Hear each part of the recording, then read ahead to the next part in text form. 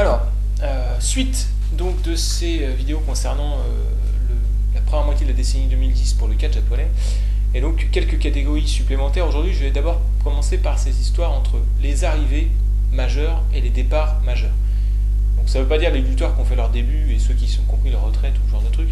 C'est plutôt quels sont les lutteurs qui comptaient à la fin des années 2000, début 2010, et qui ont décliné ou qui ont pris leur retraite ou qui sont partis, bref, qui ont disparu, qui ne sont plus dans leur rôle de lutteurs qui pèsent dans la qualité du catch japonais, qui fournissent des grands matchs, qui ont du star power, etc. etc.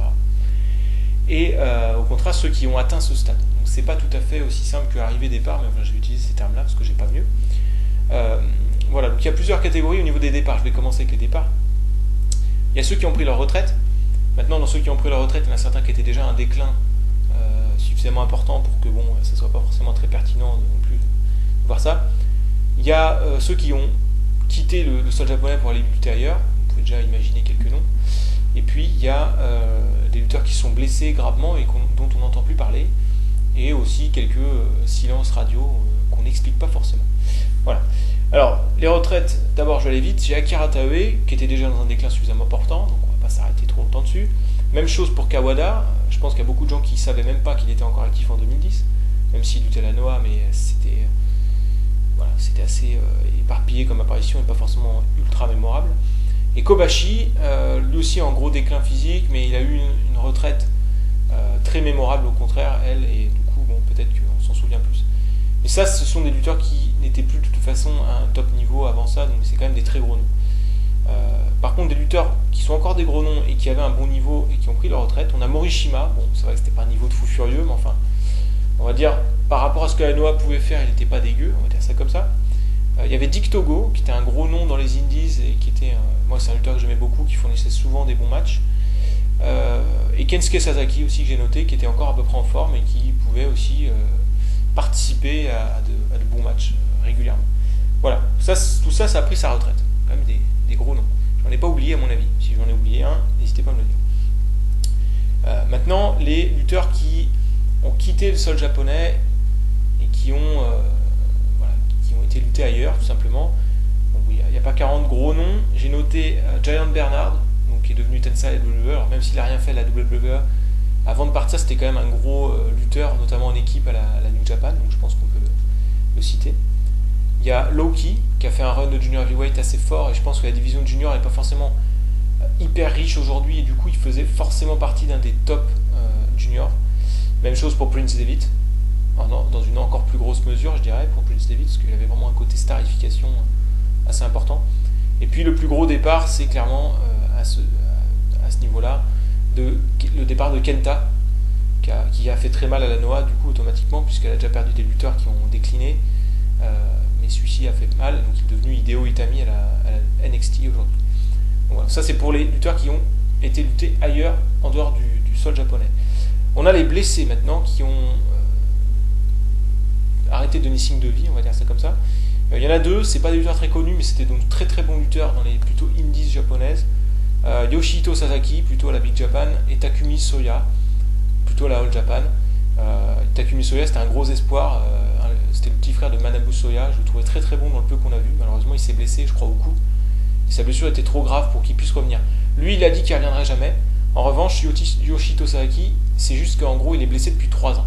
Et on ne sait pas ce qu'il fait. Aucune nouvelle. Donc, aucune nouvelle. Bon, euh, moi je pense qu'il ne reviendra jamais. Ou s'il revient, il sera plus le même. Enfin, je sais pas. C'est très dommage parce que c'était vraiment un très très bon lutteur qui avait, qui avait la flamme. C'est ça qui euh, voilà, donc ça c'est les retraites, les lutteurs qui sont partis et les blessures. Et puis il nous reste une dernière catégorie quand même, c'est les lutteurs qui ont décliné ou qui se mettent à lutter dans des fédérations vraiment très secondaires, on ne sait plus du tout ce qu'ils font. Voilà, qui étaient des lutteurs assez importants avant.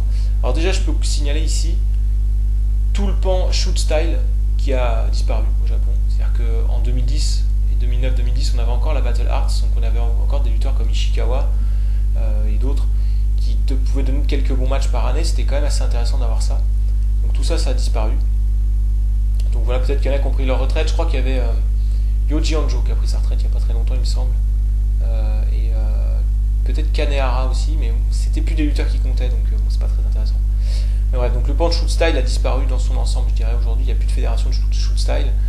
Et si certaines fédérations peuvent produire de temps en temps des matchs un peu shoot style, a priori c'est c'est très anecdotique.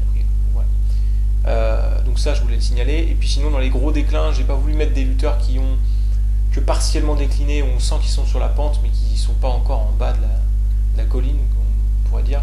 Donc j'ai simplement voulu, enfin, je vais simplement vous donner Takayama. Bon, il était encore bon en 2010-2011, hein. C'est assez récent finalement son, déclin, mais il est assez vertigineux. C'est-à-dire qu'aujourd'hui, c'est vraiment, il est vraiment cramé, quoi. Euh, on a aussi euh, Kanemoto. Alors bon, c'est un mélange entre être un peu cramé d'un côté et être parti dans des fédérations vraiment secondaires de l'autre, parce que jusqu'à 2013, il était encore assez bon. Finalement, c'est très récent aussi, mais maintenant, il lutte dans des toutes petites fédérations. Et puis, euh, j'ai pas voulu mettre Kojima, parce que même s'il a décliné, je pense que je pense que bien utilisé, il pourra encore faire quelque chose. Par contre, Tenzan, je pense que lui, c'est fini aussi. Voilà un petit peu. Je pense pas que j'ai oublié grand monde. Après, j'ai des noms, euh, je sais pas trop quoi en faire, comme Mileno 80, euh, donc parle peut-être. Je sais pas de ce qu'il est devenu, il a peut-être pris sa retraite. Mais bon, euh, donc voilà, c'est pas des très gros noms. voilà un peu le bilan des, départs. Maintenant, au niveau des arrivées, c'est-à-dire des lutteurs qui étaient soit déjà là et qui ont percé, ou soit des nouveaux carrément. j'ai noté Shibata, donc à la New Japan, qui fait son retour, puisqu'il avait déjà lutté au début 2000, mais il avait été parti faire du MMA pendant un long moment. Donc Shibata. Ishii, qui était déjà là, mais franchement, son rayonnement dans les années 2000 était quand même super faible par rapport à ce qu'il peut connaître aujourd'hui. Naito, dans une moindre mesure, un peu comme Ishii, dans les deux cas. Il rayonnait un peu plus qu'Ishii dans les années 2000 et un peu moins qu'Ishii aujourd'hui, je dirais. Mais bon, quand même. Euh, Okada, alors là, bon, lui, c'est clair et net parce que euh, on a du mal à savoir ce qu'il faisait avant 2010, même avant 2012, on pourrait presque dire. Donc, euh, bon, c'est vraiment une nouvelle star qui est sortie de nulle part, quelque part. Euh, AJ Styles, Gaijin qui est arrivé, euh, qui a un peu croisé et compensé le départ de Prince David, même si moi je pense que AJ Styles est quand même vraiment meilleur que Prince David, euh, c'est un peu ce croisement-là. Ah, j'ai pas dit, j'ai pas mentionné Pac, qui est parti aussi pour la Dragon Gate. c'est vrai que ça, compte quand même, mine de rien. Je le mentionne maintenant. Pour les, ça, c'est pour les départs. donc, je continue avec mes arrivées. Donc, AJ Styles, et euh, Onma, même si lui aussi était là, mais c'est vrai que je trouve qu'entre le, run qu'il a eu à la Big Japan au début des années 2000, où il a eu des bons matchs, et euh, là tout récemment, entre les deux, on a du mal à savoir ce qu'il a fait, en fait, alors qu'il ne devait pas être si mauvais, je sais pas. Donc voilà.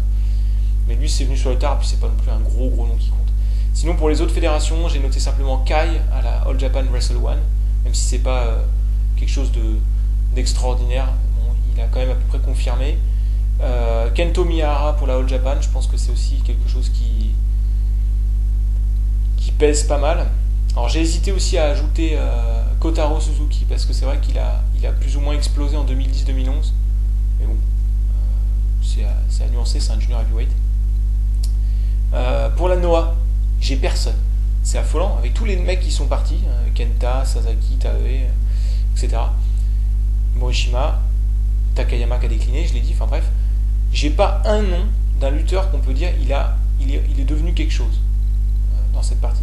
Il y, aurait éventuellement eu Kotaro Suzuki chez les junior heavyweights, mais euh, déjà il est parti. Et puis, euh, bon, on n'en entend plus tellement parler aujourd'hui, donc c'est difficile à dire. Mais c'est vrai que c'est un bon lutteur, on peut, le signaler.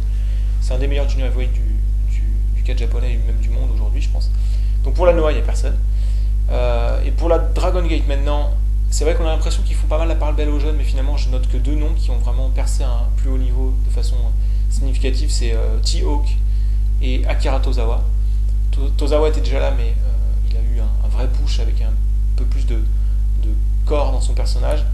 Quant à T-Hawk, c'était un, rookie en 2011 ou 2012.